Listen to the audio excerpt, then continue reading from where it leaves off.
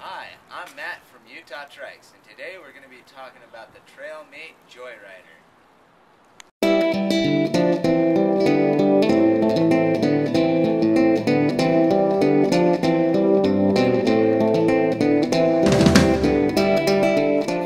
The Joyrider features a heavy-duty steel frame and a unique step-through design.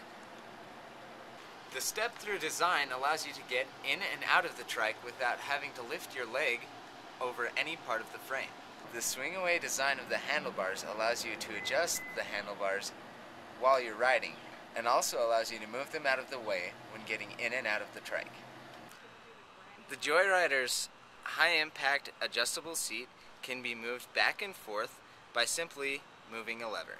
This makes it very simple to get just the right leg length. This trike features nylon reinforced Skyway mag wheels. Not only do they look cool, they give you a really smooth ride. The Joyrider is available in single speed and three speed versions, and we're also working on our very own 8 speed version.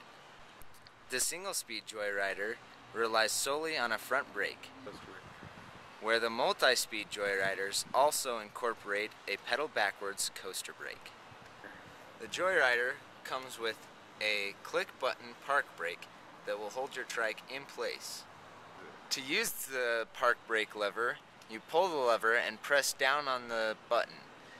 To release it, just pull back on the lever. One of the best features about the Joyrider is it comes with a basket so you can carry any cargo you may need to take with you. The basket is a single piece design which will give you years of maintenance free enjoyment. Every Trailmate trike comes with a two-piece flag that is very easy to install and stow away. The Joyrider model tilts on its end for easy storage. The Joyrider allows anyone to enjoy the excitement and thrill of trike riding.